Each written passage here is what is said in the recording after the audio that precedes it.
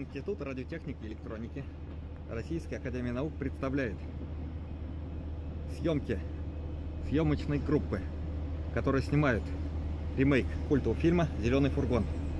Сейчас вы видите съемочную площадку, на которой актеры изображают какую-то сцену в каком-то ресторане. Вот видите, официантка подает на стол какую-то еду. Это главный герой, судя по всему. Рядом стоит мужик с микрофоном. Так что это, видимо, эпицентр съемки. На заднем плане ходят статисты в одежде времен конца Великой Отечественной войны. То есть можно догадаться, что сюжет фильма происходит в это время. Мы, естественно, понятия не имеем, что там происходит и что они снимают. Мы сгораем от любопытства, что же такое там происходит. И с нетерпением ждем выхода фильма, чтобы посмотреть, что же такое мы сняли.